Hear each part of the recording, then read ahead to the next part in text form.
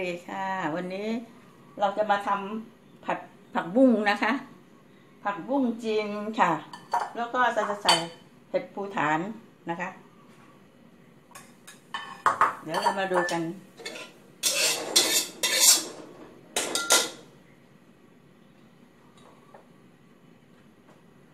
ใส่น้ำมันนะคะ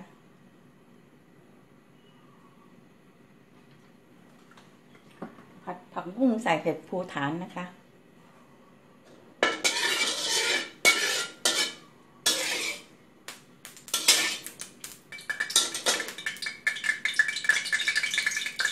นี่เราก็จะใส่กระเทียมก่อนนะคะ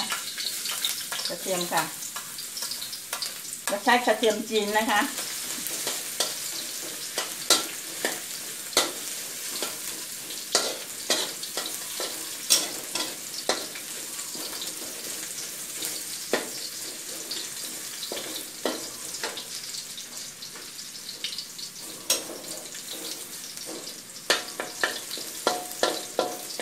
ให้กระเทียมมีกลิ่นหอมขึ้นมาก่อนนะคะ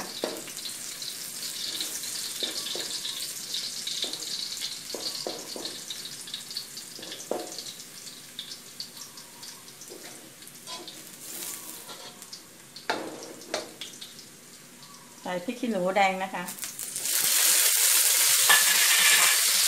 ใส่เห็ดค่ะ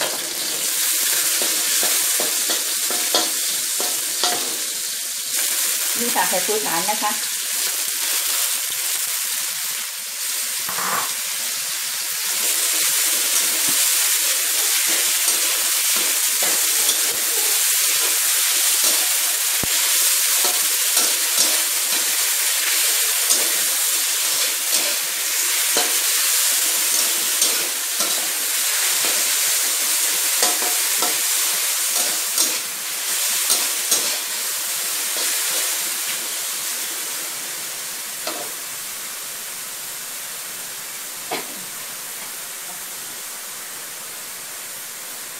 ใส่ผักบุ้งค่ะ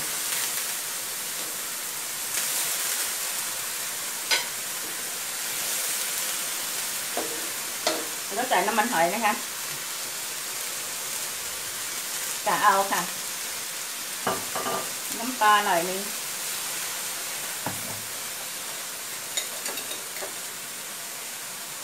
น้ำตาลนิดหน่อยค่ะ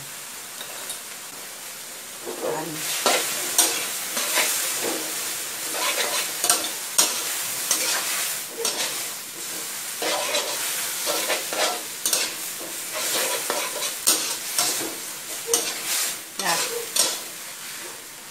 นี่ก็เสร็จแล้วนะคะ เป็นอาหารที่ง่ายมากค่ะค่ะผัดบุ้งใส่เห็ดภูฐานก็เสร็จเรียบร้อยแล้วนะคะ